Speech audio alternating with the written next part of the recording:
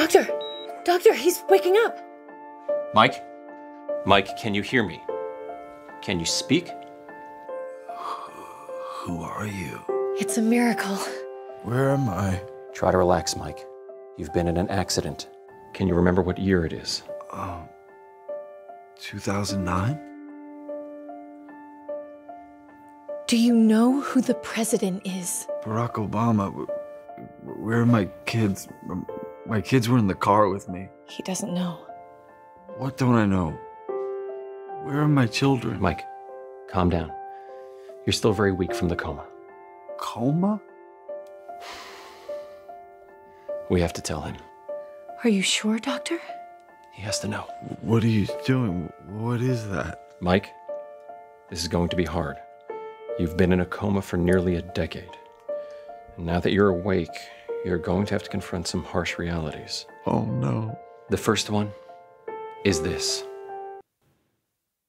Wait. Wait, what am I looking at? Donald Trump is president. It's insane, isn't it? The guy from Celebrity Apprentice. He's our president now. Yeah, that that's weird, but but, but what about my children? Johnny? Melanie? This isn't a joke, Mike. This is a real headline. Why are you showing me this? Can your 2009 mind even handle this? Stop it! Ten years ago, could you have imagined America would come to this? He served fast food in the White House, Mike. Fast food! I don't give a shit. The president could be Kanye West for all I care. It's actually funny you should mention Kanye West because Get that away from me. Kanye said liberals were bullies, Mike. Bullies! Where are my children? Oh my god! Your kids are dead, okay? Jeez. Oh no. Yeah, uh, your son died instantly, your daughter clung to life support for like a month before we removed the feeding tube. Yada, yada, yada. Happens all the time. But Trump being president? This is not normal. don't normalize this, Mike.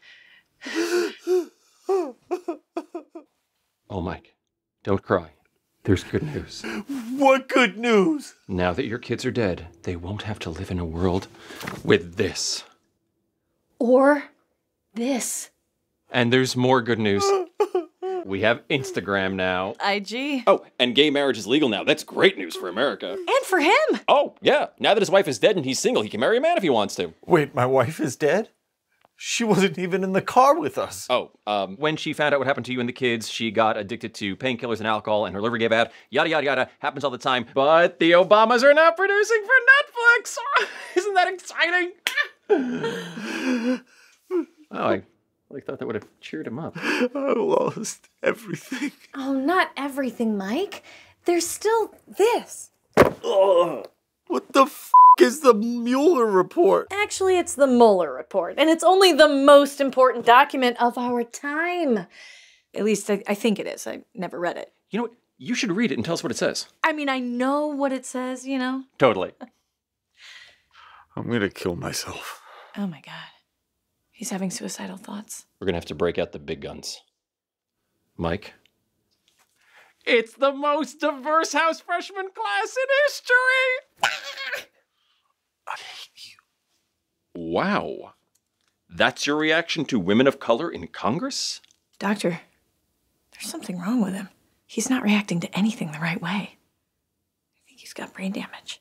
Yeah. No wailing outrage over Trump, total indifference to the Mueller report, and now no vocal celebration of diversity in Congress? I think you're right, nurse. There's only one thing left to do. Sorry, Mike. You're canceled.